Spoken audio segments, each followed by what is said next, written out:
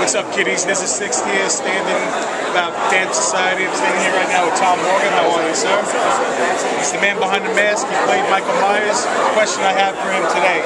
Um, you were in Friday 13th, Part 5. Um, now, there's um, a couple of different Jasons in that.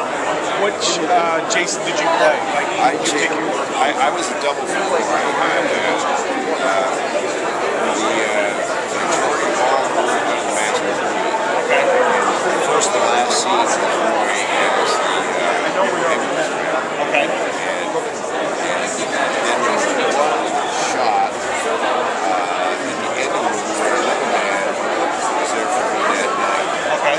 Johnny Hawk. So Johnny Hawk is, uh, I think he just He just started doing the conventions. Yeah. it's- so I kept him returned. That's cool. Okay. And you said you you were also in Halloween Part 4.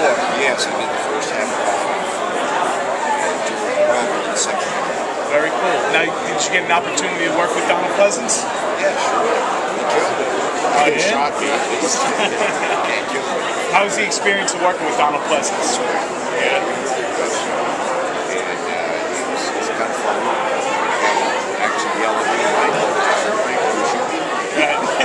That was one of the first days we worked. That's awesome. You know, like, service station. oh yeah, I love that scene. That's a great scene. I remember that when you were like wrapped in the bandages. Yeah. I, killed the, the you know, service station attendant, and then I drove through the door, tried to run the Well, that's awesome that you got an opportunity to work with. Uh, you know, he's like an icon. You know, if there was somebody right now that I could pick, living, or you know, he did die, but if there was someone I could pick, I would definitely love to meet Donald Pleasence. I had the opportunity to. And, uh, it was a privilege working with him. I appreciate you, Tom, Mr. Tom, Mr. Morga, and uh, thank you. Dance Society, Mrs. Sixty. Thank you.